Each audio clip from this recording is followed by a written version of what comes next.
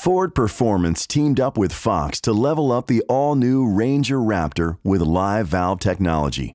The uniquely tuned Fox 2.5 inch diameter internal bypass semi active shocks change damping performance based on the Ranger Raptor's drive modes.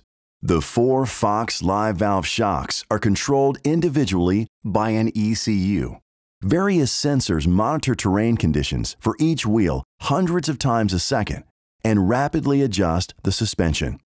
The Ranger specific algorithm adapts to your driving style through inertial, steering, braking, and acceleration input. Fox's patented internal bypass design allows for multiple zones of damping control. Shock fluid bypasses the main piston through a series of bleed holes in the ride zone to increase comfort.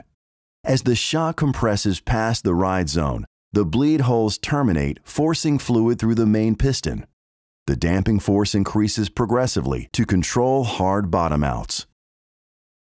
When the shock rebounds past the ride zone, the bleed holes again terminate. The increased damping force prevents harsh top outs and an initial catch for landing.